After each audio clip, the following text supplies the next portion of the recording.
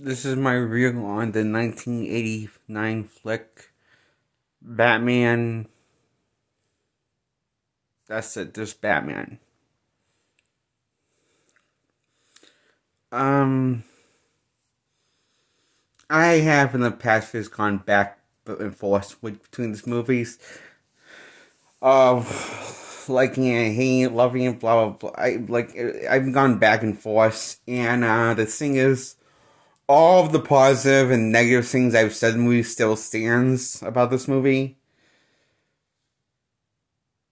But uh, like the only reason why you like the Batman movies because you know he's uh is really the Danny Elfman score. And yeah, he does have a shade card because it's roughly put together and it's all coming apart.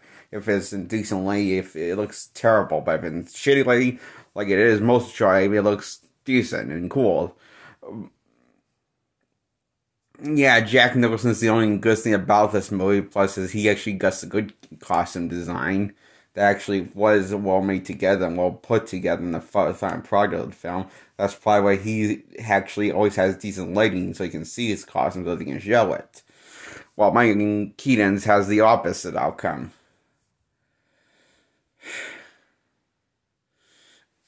I both love and hate this movie because I have mixed feelings is why I have to give this a 5 out of 10. Because everything what I hate about it is also everything I like about this movie at the same time. It's kind of like a...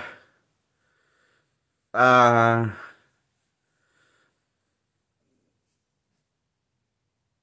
Kind of like Batman and Robin from 1997, how I feel about that movie.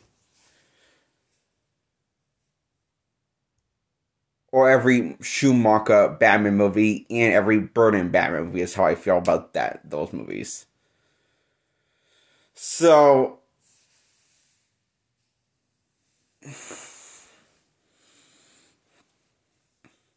Well, the plot about Batman is like he's he's thinking about my problem, but I will say what's better about the all those movies actually compared to the first one is that in the first one, Batman has no uh, place in the plot of the movie. He's just here to sell tickets and get money off of you. And it worked. Can't say it didn't work. So he's more, he's less like a character, more of a marketing strategy probably how he's going to be used as the Flash in the Flash movie. With Ezra Miller as the Flash, playing two versions of uh, his character. Ezra Miller is playing two different versions of himself. And Michael Keaton's playing his old Batman character. So, version, or at least a variant version of his Batman. Um. So, you know how Michael Keaton like, doesn't really, you're not really sure what his. What I'm trying to say is the Michael Keaton's character is really just everything that's in the promotional material of the movie. In the trailers. That's probably what they're going to do is the ba- Batman and his Batman return to the big screen in the this year in 2023. Decades later after the first one came out in 1989. And he last played Batman in 1992, Batman Returns, so and that had a similar outcome, although he did actually have some reason to be uh, business being in the plot of the film and reasoning the first one, I feel like he's just a tool and gives something to the Joker to fight and try to kill and can't kill. So he's basically the um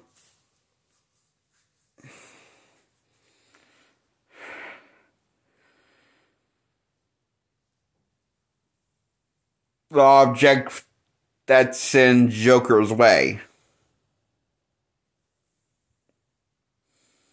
in the movie. Basically, seems. Uh,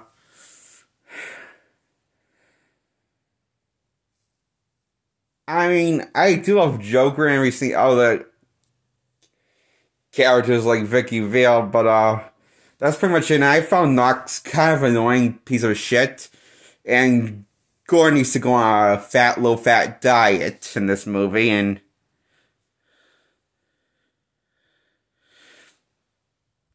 and lay off the pies. So this is why I kept on thinking to myself while watching this movie.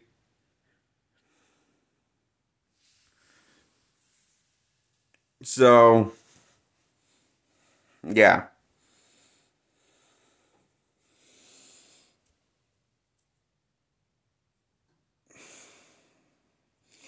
I really love the ending, but mostly the reason why I love the ending, I was hoping that this problem was going to get fixed in the sequel installment majorly, but it didn't.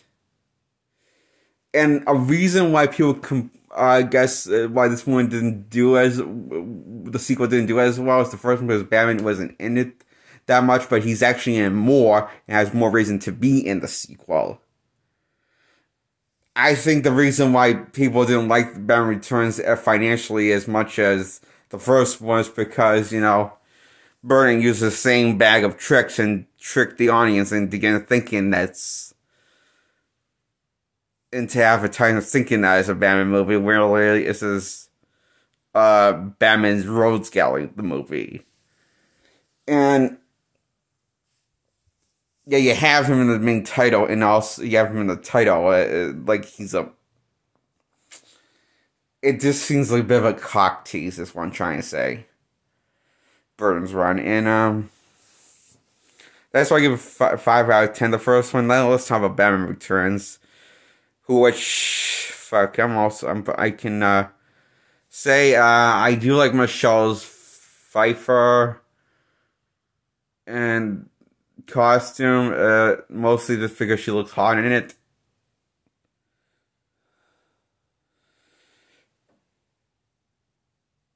I mean, it's kind of kicking, isn't it? For a sexy way, right? That's why everyone loves Catwoman now. And since the Burton movie came, made her famous, and we just like her just because she's a fine ass to look at. Isn't that right, ladies and gentlemen? And the women who don't look at her like that, we probably just want to be like that much hotness and have that and get as much attention and sex as much often as Catwoman could get when she was played by Michelle Pfeiffer.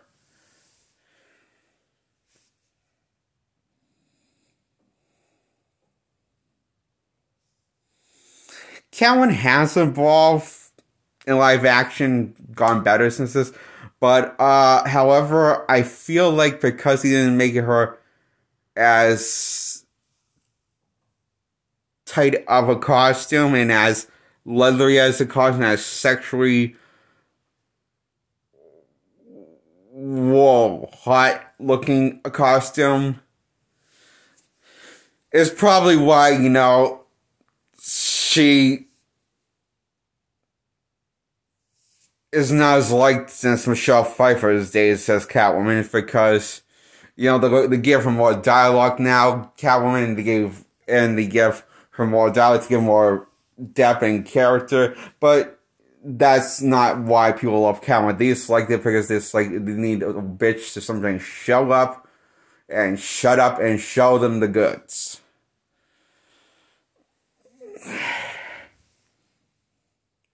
At least from Catwoman.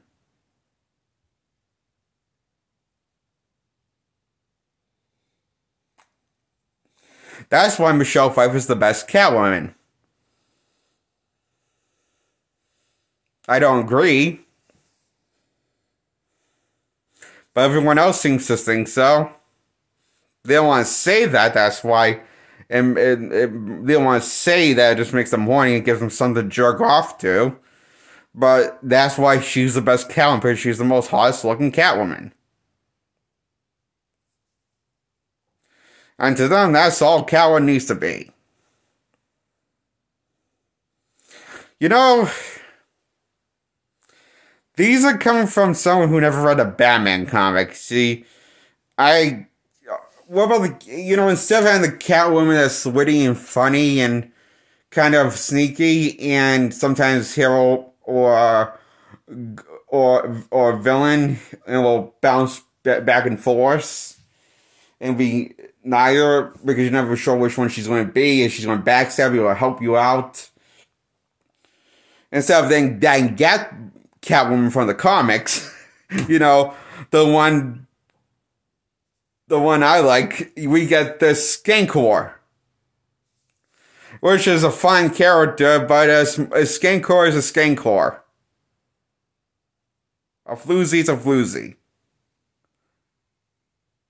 If it looks like a floozy and acts like a floozy and walks like a floozy, I say it's a floozy. Same goes for a duck. If it looks like a duck, acts like a duck, it's a duck. so, uh, and Penguin is. Look, I'm going to be, I'm going to level you issue. Why didn't they just bring Jack Nicholson back in this movie? Because what they did was basically made Jack, Penguin the Joker. Personality wise and you know design wise if Joker was a diabetic and was had a major ball spot and played by Danny DeVito. That's kind of what he, Penguin strikes me as to me, design wise, and know, also if you know, hypothetically, if Joker was ever a diabetic and could drop dead at any moment, or if he was had a big ball spot on the top of his head that had hair of rest for you, everywhere else. But that's what the look. I'm going to be honest with you. You know, I like the penguin design. It's no, it's nothing inspiring or original. The character in the peng Burns penguin. It's a. I mean. Honestly, I like Penguin from the comics more than this Penguin because I feel like a god for. I mean, because probably because he's not this uh, he doesn't feel like a same character that Joker was in the first one. What I'm trying to say is the Penguin's not supposed to be a Joker knockoff or a copycat, but you know, Burton did say he didn't like the Penguin from the comics. He found boring and uninteresting, so he'll just rather than you rather than bring Jack Nicholson back as the Joker, get him re, re, re, replaced by a different actor, but bring the Joker back, or the second way they had to. He decides to reinvent the character and basically make him the Joker.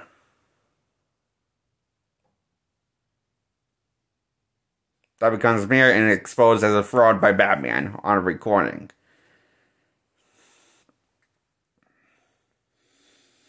The Batman, for a brief moment, decides to rewind the coin in a DJ fashion. With the help of Alfred. And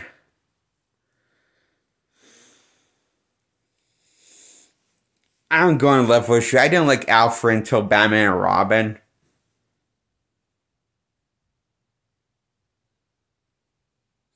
Didn't find him interesting or a believable Alfred until the last one.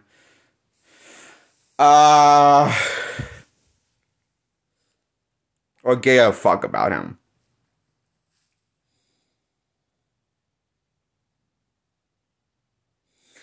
Yeah, up until the last one, Batman Robin, which takes place in the same universe timeline, I didn't give a fuck about Alfred at all. Mm, I found it interesting and engaging. Just found him fest. So, yeah, that's why Batman Returns gets the fire out to none of us talk about the last one, Batman and Robin, to Batman and Robin from 1997. That once again, you got a different person playing Batman from went from Michael Keaton to Val Kilmer, which I think did the best job out of the three in this franchise that played act of the actors that played him. Now we got George Clooney in this. Well, um,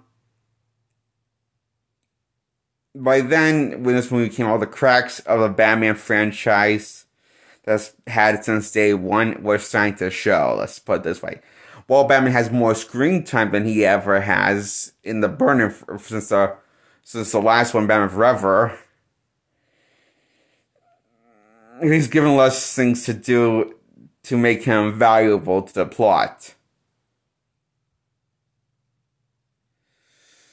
Compared to Batman Forever with Val Kilmer. And um and they decided to go back to the old ways where instead of having Batman and Val back and having him, you know, have married to the plot Batman himself and feel like he's important, they decide to go the opposite route in the background, backwards approach, where he has no value to plot, despite, and so he basically has as much value to the plot as he did with, well, Burton's first attempt of Batman. So why was this one uh shows the problem more? Well, it's probably because Batman has more. Well, he does have more screen time than uh Keaton did in either Batman films, Returns or Batman. However, you know, they made him the main focus, but gave him nothing to do to make him valuable or meaningful to the plot. Sort of like Burton did with the first two Batman films that he made. Instead this time it's Schumacher. So that's probably the only reason why this couldn't get work the get away was the, the this time. There's different director, the different person working on the film. Burton's not a producer on this, executive producer like he was with Forever. Um, well, producer, you know, yeah. Um, so I like the Kino ones. There's like so much going on. It's overly convoluted. No, no, no narrative to the story structure. No rhyme or reasons. This, but it does have like kick-ass feeling. Uh, villains being villains and villain's the main character instead of Batman, which was the reverse outcome for Batman Forever. And that's why the Batman Robin gets a f- 5 out of 10.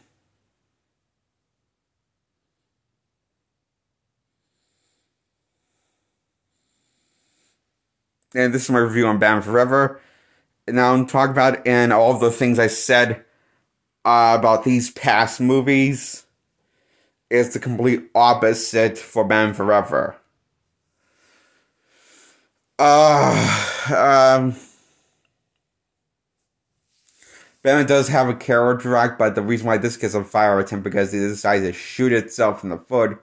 That story, for the sake of money making purpose, that the studio made changes to the script and shoots different for the final product, and which is Schumacher's vision got very corrupted by the studios. So, um, the reason I think it obsessed me because I get what they were doing. They're trying to do is like think Batman's trying to chase his ways and not kill anymore, but it doesn't hammer those mesh ideas of the story structure home enough. Like the Schumacher's things that he was going to have in the movie that was close to the vision did and because of that, it's it seems a little more confusing why Two Face got killed off and Batman wasn't bothered by it at all.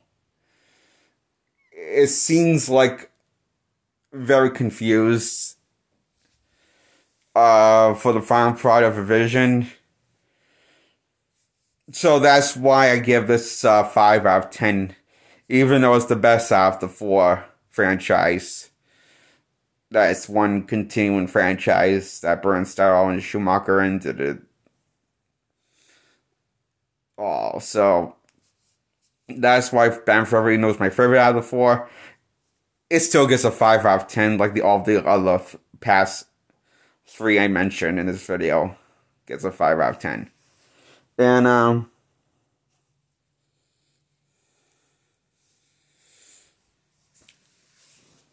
hopefully the Schumacher cut will come out soon. Like it's confirmed the Schumacher cut. Google it. It's confirmed that's like going to happen. Coming out with the Schumacher cut. It basically everything that's more true to his vision that actually had a coherent narrative and actually made sense. And just didn't do anything wrong reason. The only reason why Batman kills in this movie is the same reason why he did it for Batman Forever for mocking reasons to make money off of people. Is the reason why Schumacher had to kill Two Face off with Batman free will doing it. Because, you know, and the studio really kind of pushed him into changing the ending. Uh, and so the reason he tried to, uh, he found out, he, turns out he did try to fight for it, not to do that. Uh, but, uh, you know, it's like studios can think is very sneaky and manipulative. So that's the reason why um, Batman kills in the Forever. Batman Forever. And the reason why he get killed in the first one is because Burton didn't know any better. Probably.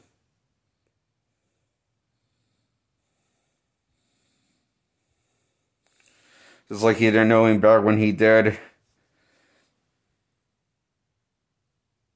the first two Batman films Burton did, but they still came out halfway decent. Yeah, so did the other ones too after that. No, five out of tens. Not bad, just not great. Sort of like Joss Whedon's take on Justice League. It's how it feels like in a nutshell. The each film feels like a confused vision of mishmax ideas. Whoever is doing this doesn't know what they're doing or what to do. These bring it just feels like uh like Whedon's Justice League how uh it just feels like you're just putting stuff in for the sake of stuff because it looks cool and not because you want to develop these characters like because you want you want to give a shit about it, but because this is some reason excuse for you reason to pack as much cool shit in as possible.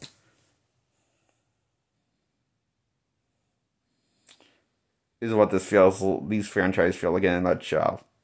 All four.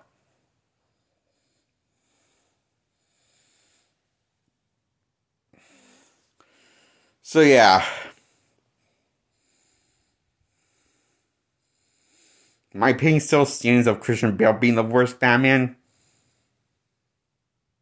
And Keaton being the second worst.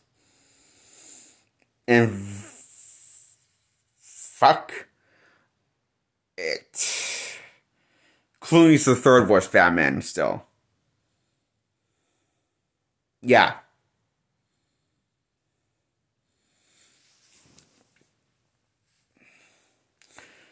It's a shame we haven't got a single damn good adaptation of of a franchise, like a franchise of Batman that is actually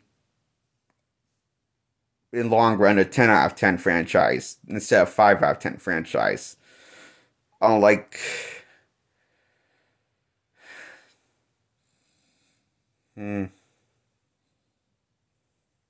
I mean, unfortunately. Bye. And subscribe to my channel and give this video a thumbs up.